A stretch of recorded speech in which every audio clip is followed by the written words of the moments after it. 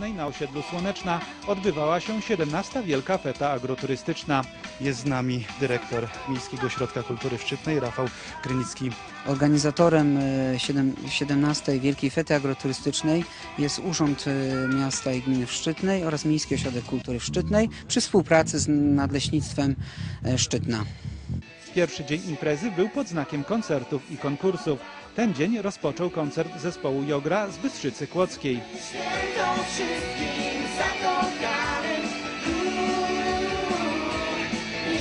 Dzisiaj wszyscy cieszą z nami Chciałbym tutaj powiedzieć, że nie tylko występują nas znane gwiazdy, ale również promujemy mniejsze zespoły, które, które gdzieś tam stawiają pierwsze kron, kroki na, na scenie i również takie zespoły u nas, u nas występują i o godzinie 15 zespół Jogra z Byszczycy będzie miał możliwość występu na, na, na naszej scenie.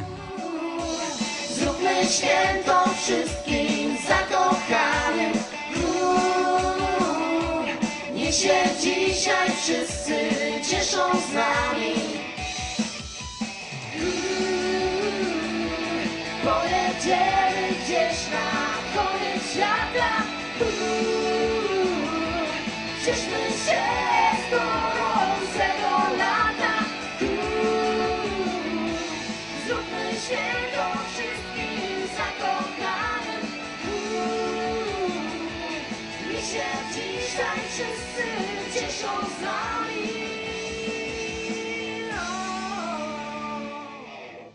Mamy zamówioną pogodę i, i myślę, że, że, że będzie bez opadów. Dzisiaj już na pewno, jak widzimy, na, mamy piękne niebo, zaczyna się przebijać słońce, także dzisiaj będzie, będzie pięknie, a jutro zobaczymy. Miejmy nadzieję, że również będzie dopisywać słońce. Ile osób przyjdzie odwiedzić Was, tą fetę dzisiejszą?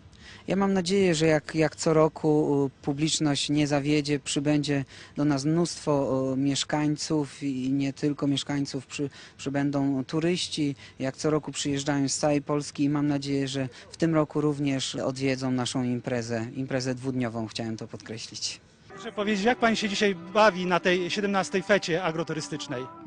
No, jest bardzo fajnie, ciepło, słonecznie. I czekamy na więcej atrakcji. A co do tej pory Pani tutaj y, y, takiego ciekawego podobało do tej pory? No, jak dla dzieci super wesołe miasteczko oczywiście. Dużo straganów bardzo okazałych. No i występ zespołu bardzo fajnie śpiewają. Co roku Pani uczestniczy w takiej imprezie? No praktycznie tak.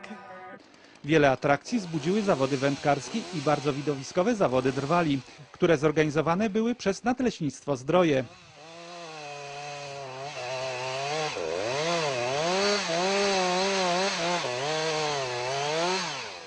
W Szczytnej jest to y, czwarta impreza, cz- czwarte zawody drwali o Puchar y, Nadleśniczego Nadleśnictwa Zdroje i w tym roku y, rozszerzyliśmy jak gdyby tutaj konkurencję o zawody zrywkarzy drewna. To jest druga grupa ludzi, która również jest bardzo ściśle związana z pracą na, na rzecz nadleśnictwa. A dlaczego Państwo uczestniczycie w tego typu imprezach? Jaki jest cel? Y, Są to przede wszystkim y, sprawy związane z tym, żeby przybliżyć y, społeczeństwu, ludności tutaj okolic i również przybyłym gościom, którzy na ziemię kłodzką zjeżdżają, pracę, ciężką pracę w, lesie. Nie tylko leśników, ale również zakładów usług leśnych, czyli prywatnych przedsiębiorców, którzy wykonują usługi na rzecz nadleśnictwa. Y, Dzisiaj co rozegrane zostanie dwa konkursy. Y, Kolejna edycja konkursu Drwali będzie polegał na pięciu konkurencjach. Y, Rozbiórka, pierwsza konkurencja to będzie rozbiórka i złożenie pilarki, przeżynka na dokładność kłód, okrzesywanie kłód i rzeźbienie w kłodzie drewna, rzeźbienie dowolnie wybranej figury. To już od inwencji drwala zależy, co będzie sobie życzył wyrzeźbić. W sumie y, te konkurencje będą trwały około półtora godziny. Czy to są dość trudne konkurencje? Y, Tak, y, konkurencje są dość złożone. Decyduje dokładność, decydują milimetry przy odrzynaniu y, plasterka, kłody na przykład. Komisja będzie miała tutaj naprawdę duże pole do, komisja sędziowska do działania, bo decydują naprawdę bardzo minimalne odchyłki. Czy to są y, ci zawodnicy specjalnie dobrani do tego, żeby uczestniczyć w tego typu y, imprezie? Nabór zawodników ograniczyliśmy do p- ludzi pracujących w Nadleśnictwie Zdroje, do firm usługowych, które delegowały swoich y, drwali do tych zawodów.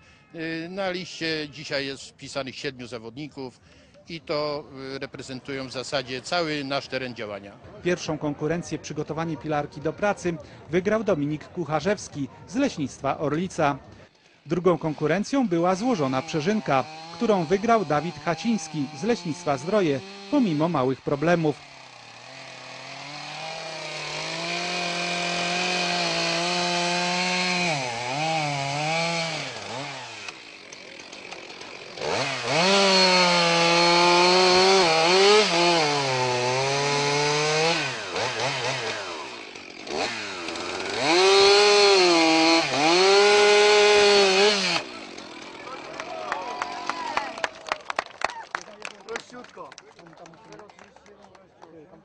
Coś y, w tej drugiej konkurencji nie, nie za bardzo poszło, bo tam coś, y, jakieś sędziowie mieli obiekcje. No sędziowie mieli obiekcję, że krążek odcięty był za cienki niż być powinien. No miałem tam 4,5 cm, wymagane było 5 cm. Ale równo to było obcięte, to publiczność aż zadowolona. No tak, no równo było bardzo dobrze, no. Na następny raz będę wiedział, że trzeba więcej ciąć. Grubszy krążek i tyle. A ile trzeba było? Między 5 cm a 10 cm. Czyli tu jest 4 cm ponad, tak? No, ale to jest i tak mniej niż 5 cm, czyli są punkty karne za to, ale poza tym jestem zadowolony z czasu i z wyniku. Trzecią konkurencją była przeżynka na dokładność. Wygrał ją Dawid Haciński z Leśnictwa Zdroje, który po trzech konkurencjach wysunął się na pierwsze miejsce w ogólnej klasyfikacji.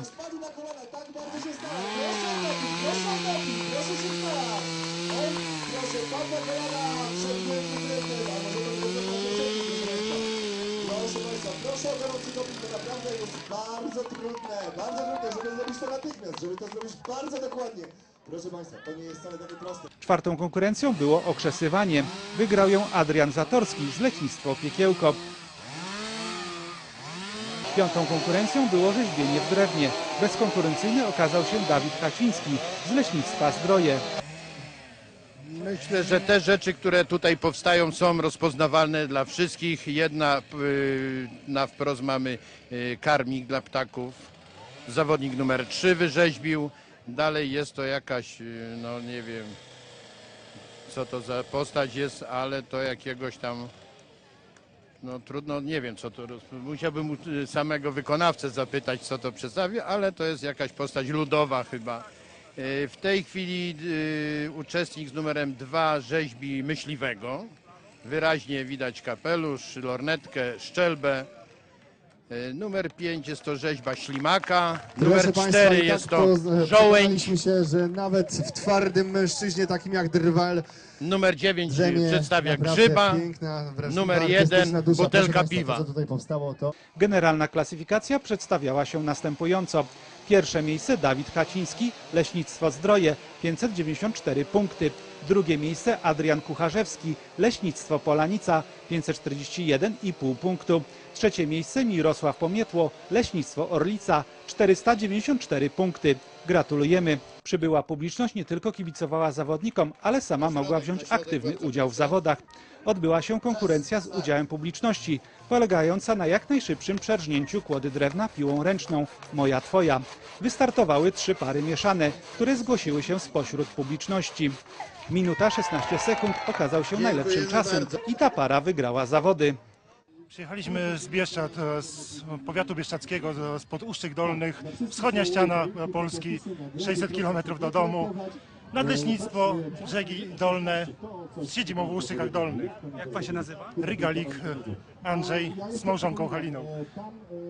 Proszę powiedzieć, e, startowaliście w tej konkurencji, chyba najlepszy czas, żeście osiągnęli. Jak to się stało? Czy przygotowaliście się do tego jakoś specjalnie? Nie, czysty przypadek i udało się.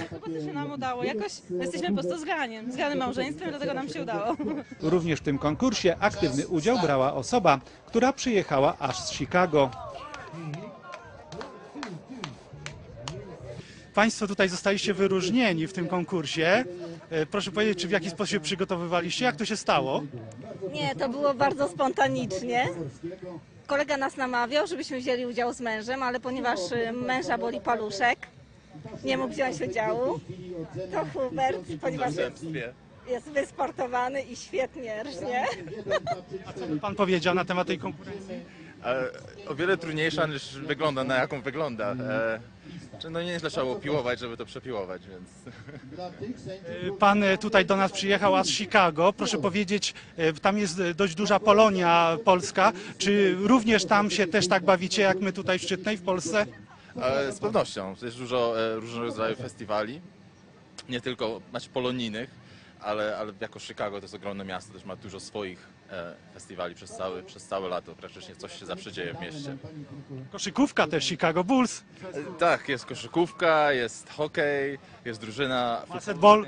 Tak, jest e, drużyna futbolu amerykańskiego, więc dużo sportów.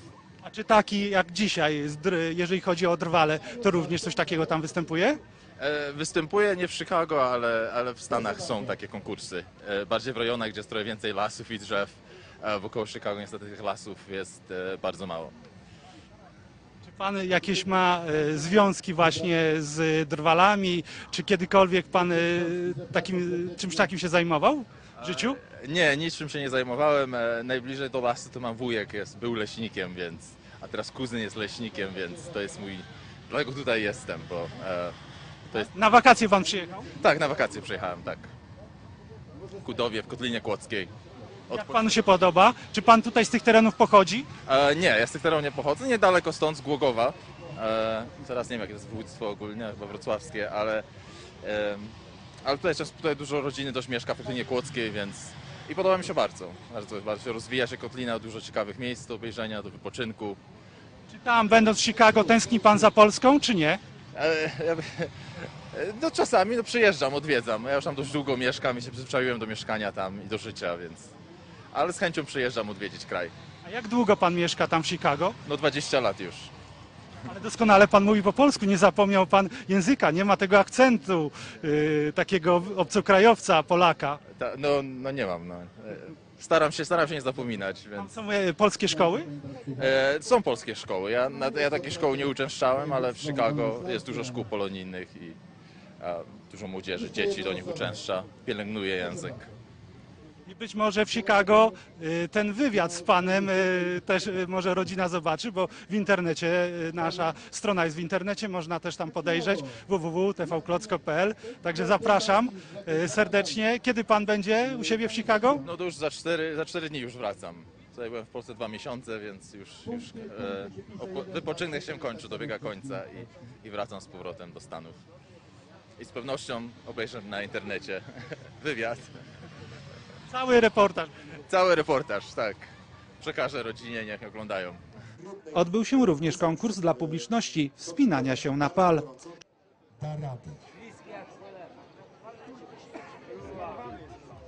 Uwaga, zaraz napięcie liny i...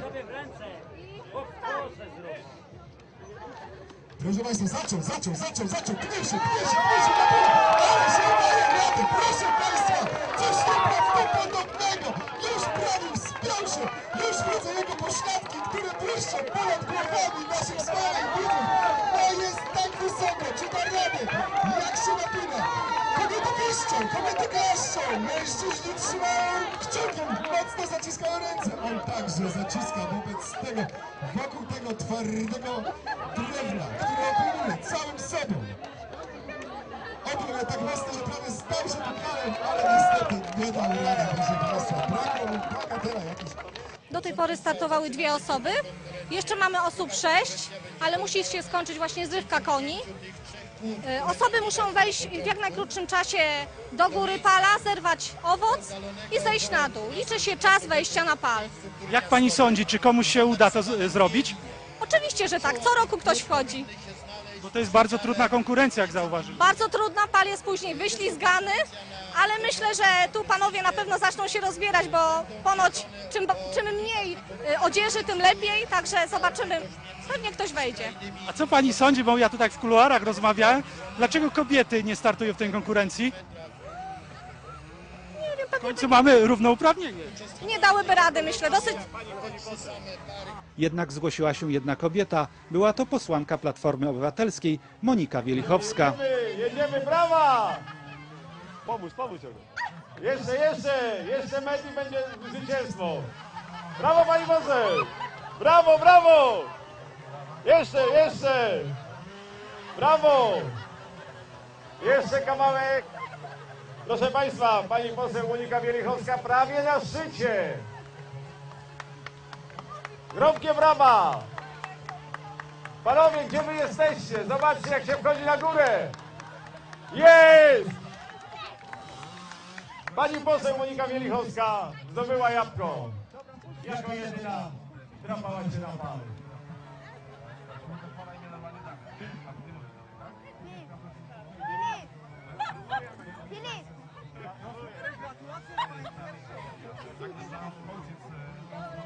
W tym dniu organizatorzy przygotowali mnóstwo atrakcji, m.in. dla przybyłych osób odbyły się liczne loterie. Jedną z nich była loteria zorganizowana przez Miejski Ośrodek Kultury.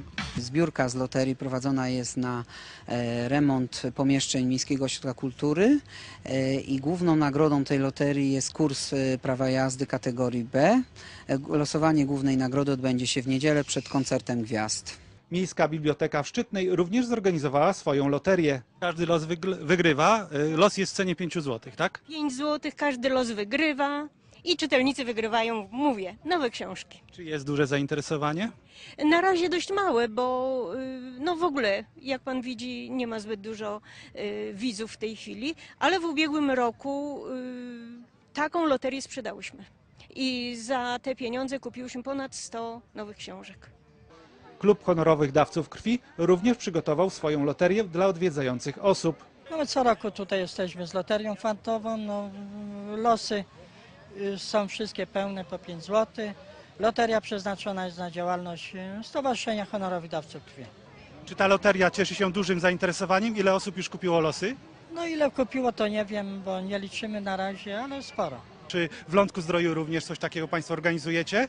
Przy okazji różnego rodzaju festynów? Tak, y, w tamtym roku zorganizowałem dla krwiodawców trzy imprezy. Y, po- Poczęstunek po prostu. No i jedzenie, dobra, y, żurek, do, dobry bigos, no i było grillowanie też bardzo dobre. Ten dzień zakończył się koncertowo do późnych godzin nocnych. Na scenie wystąpił zespół Norbi, Paweł Kukis z zespołem Piersi oraz młodzieżowy zespół Jamal. Frekwencja dopisała i pogoda również. Na koncerty zespołów przybyła dość duża grupa osób. Baru, ona nie ma zamiaru. Paska tobie o żyć w USA. Jestem z koleżanką, nie wiem czy mogę. Nie ma sprawy, poczekam, nie zwleka i ma kole koleżanką Nie zajmie innej, teraz słuchajcie Tutaj wchodzi refren, który leci tak. No i jak to, to jak to, tak, to tak. Nigdy nie za pierwszym razem. Nigdy nie za pierwszym razem